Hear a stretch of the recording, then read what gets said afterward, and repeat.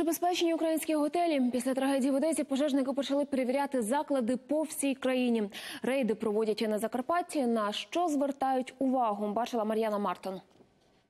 Центральна частина Ужгорода. Пожежники збираються в рейд готелями та хостелами міста. Під прицілом один з найстаріших. Рятувальники перевіряють, чи на місці вогнегасники. А ви знаєте, де вогнегасники у вас тут є? Що ви будете робити? Ну, позвонити пожарку.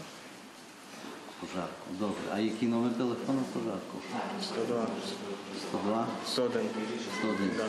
Протипожежної сигналізації в готелі немає, а килими не оброблені вогнезахисними засобами. Коли останній раз перевіряли пожежні крани?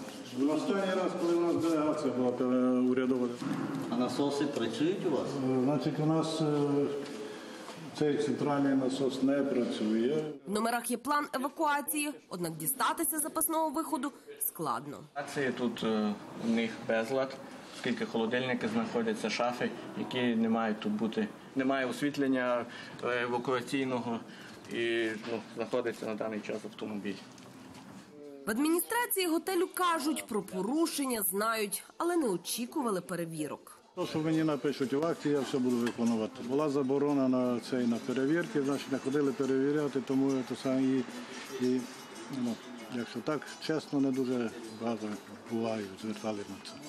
Їдемо в інший готель. Утім, сюди вогнеборців навіть на поріг не пускають. Вдалося зв'язатися з керівником е, даного готелю.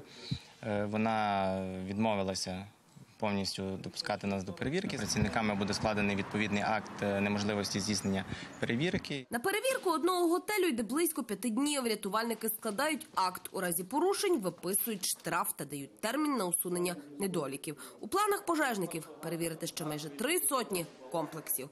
Мар'яна Мартин, Юрій Ковальов. Новини телеканал Інтер. Закарпатська область.